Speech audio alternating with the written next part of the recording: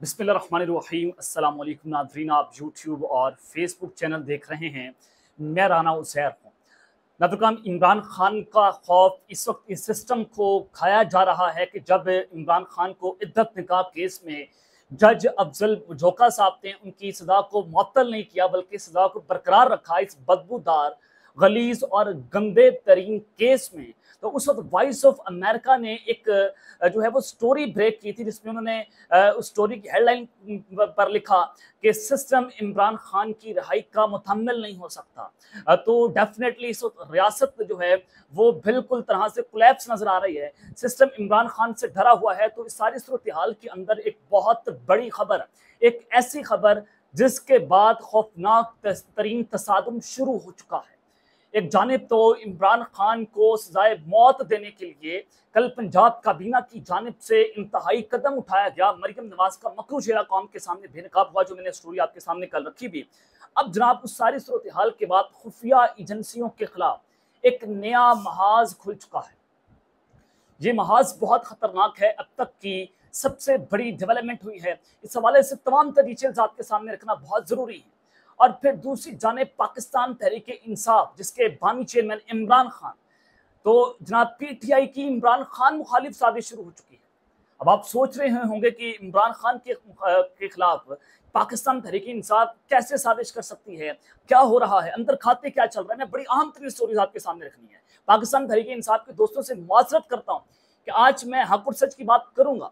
और जो पाकिस्तान तरीके इंसाफ के अंदर गंदी मछलियाँ उसको भी एक्सपोज करने का वक्त आ चुका है। उनको भी आज मैंने एक्सपोज करना तमाम तो डिटेल्स आपके सामने रखनी है, लेकिन अगर आपने चैनल को सब्सक्राइब नहीं किया। चैनल को सब्सक्राइब करने बेलाइकन को दबा दें। आने वाले तमाम तरह अपडेट्स आपकी खदमत में बर वक्त पेश होती रहें। नदगाम जो ये बदबूदार केस इमरान खान के खिलाफ शुरू हुआ है इद्दत निकाह केस। और ये आखिरी केस है जिसमें इमरान खान जो है वो अडयाला जेल में कैद हैं। इसके अलावा तमाम केसेस में या तो खान साहब बाइजत बरी हो गए या खान साहब की सदाओं को मअतल कर दिया गया। Toshakhana case, cipher case, Al-Qadir trust case में खान साहब की जो है वो जमानत हो गई। ये तीन चार केसेस जो है वो बनाए गए थे खान साहब के ऊपर। तो आखिरी केस था इद्दत निकाह केस। और उस पर जज अफजल मजोका साहब का जो गैर महफूज फैसला था, वो आदमी देख लिया कि कैसे इस गंदे खलीस केस के अंदर इमरान खान को जेल के अंदर रखा हुआ है और उन्होंने इमरान खान की सदा को बरकरार रखा। अब जनाब पाकिस्तान तरीके इंसाफ की कायद इमरान खान और उनकी अहलिया बुशरा बीबी के खिलाफ इद्दत में निकाह केस में खबर मनिका ने नई दरख्वास्त जो है वो दायर कर दी है। खबर मनिका ने इद्दत निकाह केस में जो सदा के खिलाफ अपीलों पर फैसले के लिए एक माह की पाबंदी खत्म करने के लिए अदालत से रजू कर दिया अब चूँकि अदालत ने जनाब ये एक माह के अंदर अंदर इमरान खान की मरकजी अपीलें जो हैं, उन पर फैसला करने का हुक्म दिया हुआ है और एक माह के अंदर उस पर फैसला करना है। अब हारून मनिका साहब ने अदालत से रजू कर लिया है। तो सारी सूरत हाल में आप अंदाज़ा ये लगाएँ कि पाकिस्तान की सोसाइटी के अंदर आप मैसेज क्या कन्वे करना चाहते हैं? कि औरतें एक तो गैर महफूज कर दी गई हैं कि जिसका दिल करेगा वो अपनी सबका बीवी के ऊपर आकर अदालत में गंद बकना शुरू कर देगा। वो इस तरह का गंदा और मकरू खेल खेलेगा। कि इसकी तो इद्दत नहीं पूरी हुई थी तो इसने तो जनाब ये काम कर दिया। तो आप अंदाज़ा लगाएँ कि सिस्टम जो है किस हद तक, निचले हद तक जो है वो बेगैरती की हर हद पार कर दी गई है। Sorry to say sorry to say आज मैं बेगैरती का लफ्ज जो है इस्तेमाल करूँ लेकिन इस्तेमाल करना बनता है कि जैसे ये सिस्टम बेनकाब हुआ है। जैसे ये निज़ाम, एक शख्स को गिराने के लिए इतना गर चुका है कि उसने औरतों का सहारा लेना शुरू कर दिया। उसने औरतों के जुल्म और बरबरीत उनके ऊपर गंदे तरीन इल्ज़ाम लगाना शुरू कर दिए। ये ये अगर मैं अक्सर कहता रहता हूँ कि अगर किसी ने ताकत का नंगा नाच देखना हो तो वो पाकिस्तान आए और देखे कि कैसे यहाँ पर अशराफिया इस्टेब्लिशमेंट जुडिशरी जो चंद जजेज हैं, कैसे नंगा नाच रहे हैं और गंदा, नंगा नचवा रहे हैं। और डेफिनेटली पाकिस्तान के अंदर सारा कुछ हो रहा है और इद्दत निकाह केस जो है उसकी आपके सामने एक बहुत बड़ी एग्ज़ाम्पल है। तो जनाब जो सबसे इस वक्त अहम खबर है कि पाकिस्तान तरीके इंसाफ की इमरान खान मुखालिफ इस वक्त जो साजिश शुरू हुई है, उसने इस वक्त इस वक्त सबको हिलाकर रख दिया है। पी टी आई के अंदर जनाब एक बड़ा बंदियों की जो है वो खबर है कि ग्रुपिंग हो रही है। इमरान खान की रहाई को छोड़कर पाकिस्तान तरीके इंसाफ कुछ लोग या कुछ एम एन एस या कुछ उनके लीडर्स जो हैं वो सिर्फ़ अपनी दाल जो है वो उनको गालने में लगे हुए कि मेरी दाल गल जाए। वो जहाँ एक लीडर बनने की कोशिश कर रहे हैं, मौजूदा क्यादत भी इसी जो है वो सारी सूरत के अंदर आपके सामने है। और फिर फवाद चौधरी, शेर अफसल मरवत, दिगर लोग जो हैं एक दूसरे में गुत्थम गुत्ता भी हैं। और ये लोग पार्टी को हाईजैक करना चाहते हैं। मैं फवाद चौधरी की बात नहीं कर रहा हूँ मैं शेर अफसल मरवत की बात कर रहा हूँ। मैं कुछ गंदी मछलियों की बात कर रहा हूँ कि इस वक्त ये सूरत बना दी गई है। और इमरान खान को अगर जेल के अंदर जो रखा हुआ है, इसमें पाकिस्तान तहरीक इंसाफ का नब्बे फ़ीसद कसूर है कि पीटीआई ने अभी तक कोई मौसर इकदाम नहीं किया। कोई एहतजाज की कॉल इमरान खान की रहाई के लिए आज तक नहीं दी गई कि free Imran Khan campaign launch हो रही है या उनके खिलाफ धरने हो रहे हैं, उनकी रिहाई के खिलाफ। इवन के यूनाइटेड नेशंस बोल रहे हैं। कल विकीलीक्स ने ट्वीट की, इमरान खान के गिरफ्तारी के हवाले से नौ मई की गिरफ्तारी को गैर कानूनी करार दिया गया। आज तक पाकिस्तान तहरीक इंसाफ जो है, ना वो सुप्रीम कोर्ट में गई, ना जनाब धरने हो रहे हैं, ना एहतजाज हो रहे हैं इमरान खान की राय को लेकर। लेकिन भड़के मारी जाती हैं। अली मिन घंटापुर साहब के खिलाफ भड़के सुन लें वो कहते हैं कि आज इमरान खान जेल से बाहर है, कल हमने अडयाला जेल पर हमला करना है। कल हमने फलाने अफसरान को जो है, वो सजा दे देनी है जिन्होंने नौ मई करवा दिया, जिन्होंने ये कर दिया। और अगले दिन जो है, वो आप जिस तरह से फिर पाँव भी पकड़ते हैं, वो सारा कुछ आपके सामने है और फिर आप जो है वो कुछ घरानों के अंदर जाकर अफ्तारियाँ भी करते हैं, उनको बुलाते भी अपने पास। तो जनाब, मैं जो आपके पास खबर लेकर आया हूँ, पाकिस्तान तरीके इंसाफ के तर्जमान जो पीटीआई को रिप्रेजेंट करते हैं जो पीटीआई का पॉलिसी बयान जो है वो आप कौम के सामने आकर रखते हैं, मीडिया को बताते हैं।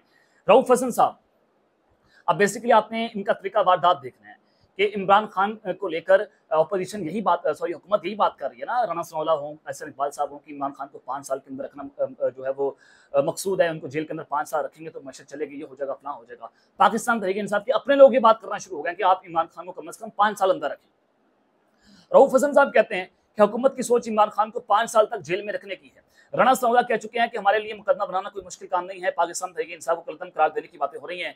इमरान खान अगर गद्दार है तो इस मुल्क में कोई भी महबूबन नहीं है। अब जनाब आप, अंदाज़ा लगाएँ कि पाकिस्तान तहरीक इंसाफ जो है वो इस बयानियों को इंडोर्स कर रही है। मैं आपको आगे चलकर एक और खबर भी रखूँगा आपको उससे अंदाज़ा हो जाएगा कि पाकिस्तान तहरीक इंसाफ इस बयानियों को इंडोर्स कर रही है कि आपने इमरान खान को जेल के अंदर रखा बिल्कुल दुरुस्त है और इसको आप पाँच साल के अंदर जेल के अंदर रखें। बजाय इसके कि आप आकर प्रेस कॉन्फ्रेंस करें और आप हुकूमत को जो है मैसेज दें कि हम आपके साथ खड़े हैं, अगर आप इमरान खान को अंदर रखते हैं। आपने कोई एहतजाज की कॉल नहीं दी, आपने कोई जनाब, कोई मौसर इकदाम आपकी जानब से नहीं किए जा रहे, बल्कि आप तो इंडोर्स कर रहे हैं हुकूमत की सारी फैसलों को कि इमरान खान को पाँच साल तक जेल में रखना है। और उन्होंने मजीद कहा कि मुल्क में ये सब देखकर बहुत शिद्दत से तकलीफ़ हो रही है।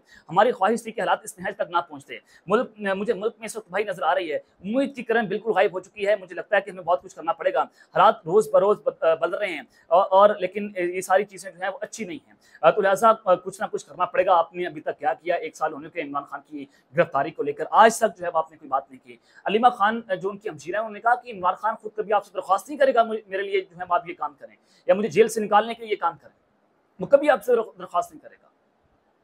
ये जनाब आपने देखना है कि आप लोग कर क्या रहे हैं और फिर शेर अब्दुल मर साहब ने जनाब एक बड़ा घटिया किस्म का दावा कर दिया है। वो कहते हैं कि इमरान खान ने मुझे बताया कि रजीम चेंज ऑपरेशन में फवाद चौधरी का किरदार मशकूक था और वो कमर बाजवा से मिले हुए थे। लगता है कि पाकिस्तान तरीके इंसाफ को रहनुमाओं को निशाना बनाने का टास्क मेरे कुछ सहाफ़ियों को भी मिला है। इमरान खान ने मुझे बुलाया है, पंद्रह या सोलह तारीख तक उनसे मुलाकात हो जाएगी। और उन्होंने कहा कि जवेद बाजवा के साथ पैगाम रसाने का काम फवाद चौधरी कर रहे थे। साथ ही पार्टी के मफादात के खिलाफ भी काम कर रहे थे।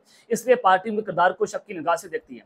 और फवाद का ये कहना है कि इमरान खान के कहने पर अलीम या तरीन ग्रुप में गया, ये भी झूठ है। फवाद चौधरी फरमाइशी केस बने और वो वीआईपी जेलों में रहे जहाँ उनकी सेटिंग थी।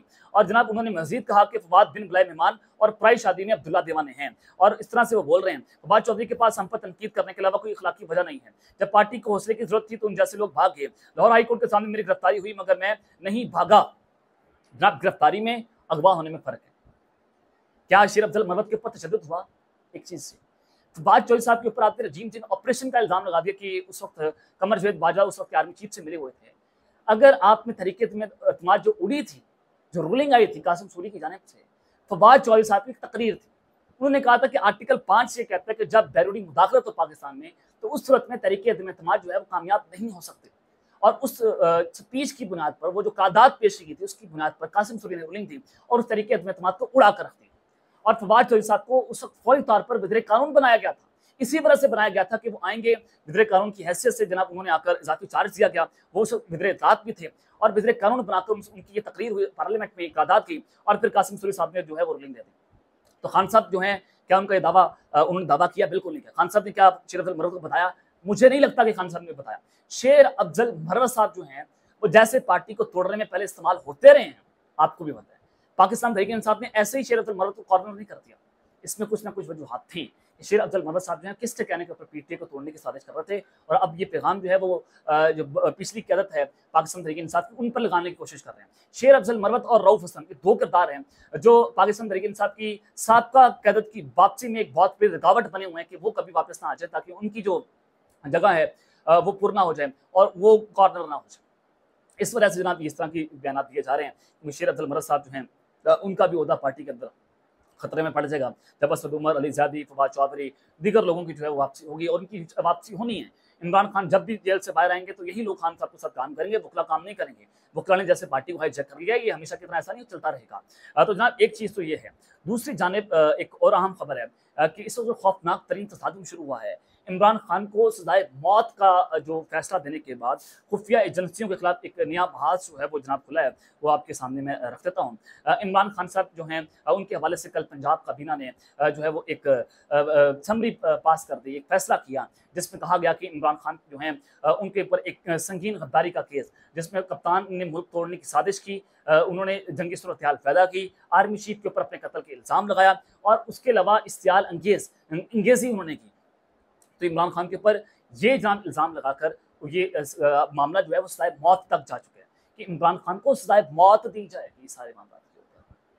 ये सारी सूरत हाल तो जनाब आपके सामने कि ये एक अगर आप ये देख रहे हैं कि इमरान खान के खिलाफ किस तरह से मरियम नवाज़ जो है वो चीफ मार्शल एडमिनिस्ट्रेटर बनी हुई है। मीडिया को जनाब वो धमकियाँ दे रही हैं। इधर से इमरान खान को सताए मौत तक बात जा पहुँची। जैसे जनरल जिया ने जो है वो भुट्टो को फांसी के फंदे पर लटका दिया था। बिल्कुल वैसे मरीम नवाज़ जो है एक, एक किस्म की चीफ मार्शल एडमिनिस्ट्रेटर बनकर इमरान खान का मुकाबला करना चाहते हैं उनको रास्ते से हटाकर अपना रास्ता साफ़ करना चाहते हैं लेकिन ऐसा नहीं होगा। क्योंकि अवाम जिसके साथ खड़ी हो आप उसको कुछ कर नहीं सकते। इमरान खान इस वक्त अवाम का दीवाना बना हुआ है।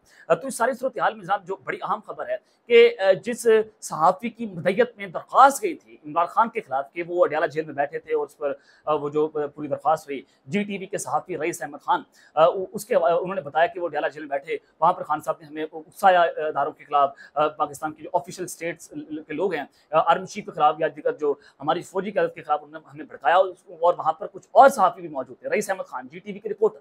अब जनाब जी टीवी की जो खबर मैं आपको दे रहा हूँ जी टीवी ने अपने ऑफिशियल ट्विटर अकाउंट से मेंशन कर दिया कि रईस अहमद खान को उन्होंने चैनल से निकाल दिया उसको मुतल कर दिया उनके खिलाफ जो है वो सियासी तौर पर जो वो इस्तेमाल हुए हैं, उनके खिलाफ तहकीकत का जी टी वी ने आगाज़ कर दिया है।